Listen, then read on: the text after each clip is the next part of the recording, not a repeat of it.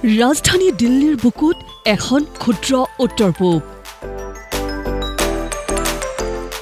উত্তৰ পূৰ্বাঞ্চলৰ পৰ্যটন বস্ত্ৰ উদ্যোগ হস্তশিল্প খাদ্য সম্ভাৰ আৰু বাৰেৰহণীয়া সংস্কৃতিক আকৌ এবাৰ বৰ্ণাঢ্য ৰূপত তুলি ধৰিছে একাদশ বৰ্ষত ভৰি থোৱা নৰ্থ ইষ্ট ফেষ্টিভেলে শুকুৰবাৰে বৈদেশিক পৰিক্ৰমা মন্ত্ৰালয়ৰ ৰাজ্যিক মন্ত্ৰী মীনাক্ষী লেখীয়ে আনুষ্ঠানিকভাৱে মুকলি কৰে এই festival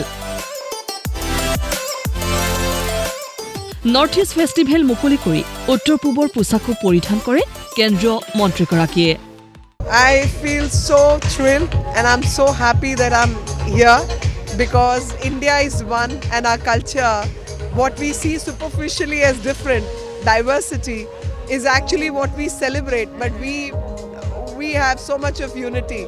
And that unity gets to be celebrated when we celebrate each other's w- way of living, textiles, food, dances, music, and, and the Satswar is what joins us all.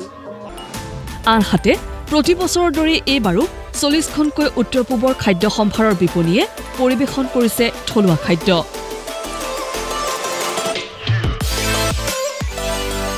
North east ফেষ্টিভেলৰ মুখ্য আয়োজক শ্যামকানু মহন্তই এঘাৰ বছৰ ধৰি উত্তৰ পূবৰ প্ৰতি ৰাজধানীত ৰাইজে দিয়া সঁহাৰিৰ বাবে ধন্যবাদ জনায়। এইবাৰ আমি অকল নৰ্থ ইষ্ট বুলি কোৱা নাই আমি দেলহিৰ পৰা connecting north east to Delhi সেইটো কৰিব চেষ্টা কৰিছোঁ। আৰু আমি বেচিকেলি ইয়াতে দেলহি বহুত ষ্টল মাতিছোঁ আৰু বহুত দেলহি মানুহ আহিছে। দেলহি মানুহ অহাটো আমাৰ মূল উদ্দেশ্য। আৰু আমি এখন ভাইব্ৰেণ্ট নৰ্থ ইষ্ট আমি ইয়াত কানেক্টিভিটি দেখুৱাইছোঁ যে আজি টুৰিজিম মিট এখন হ'ল। তাত এশজন টুৰ অপাৰেটৰ আহিছিলে। আমি তেওঁলোকে চবেই কৈছে যে নৰ্থ ইষ্টখন চেঞ্জ হ'ল। আগৰ নিচিনা নহয়। আমাৰ লিডাৰবোৰ খুব ষ্ট্ৰং এতিয়া। হিমন্ত বিশ্ব শৰ্মা অসমত আছে কনৰাড শৰ্মা আছে মেঘালয়ত নেফুৰিঅ আছে পেমা খাণ্ডু। সকলোৱে মানে এটা এটা নতুন পজিটিভ নৰ্থ ইষ্টখন দেখুৱাব খুজিছোঁ যে এখনত কানেক্টিভিটি হৈছে ইণ্ডাষ্ট্ৰি হৈছে উদ্যোগীকৰণ হৈছে এইবাৰ থিমটো হৈছে ভাইব্ৰেণ্ট নৰ্থ ইষ্ট আৰু ফুডটো আগৰ নিচিনাকৈ এইবাৰো আমাৰ মেইন আকৰ্ষণ মিউজিক আজি পাপনে গান গাব। শুকুৰবাৰে বিভিন্ন সাংস্কৃতিক অনুষ্ঠানৰ লগতে আমন্ত্ৰিত শিল্পী হিচাপে সংগীত পৰিৱেশন কৰে অংগৰাগ পাপন মহন্তই।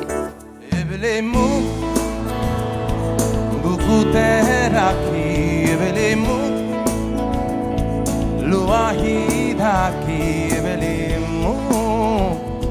আচলতে তোমাক চাওঁতে চাওঁতে পোৱাব প্ৰতিটো প্ৰতিটো ৰাতি নতুন দিল্লীৰ পৰা প্ৰাঞ্জল প্ৰতিম দাসৰ ৰিপৰ্ট প্ৰতিদিন টাইম।